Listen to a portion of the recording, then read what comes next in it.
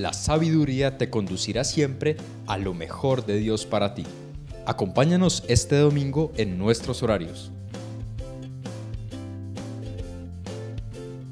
Invita a Misión Paz a las Naciones, tu casa.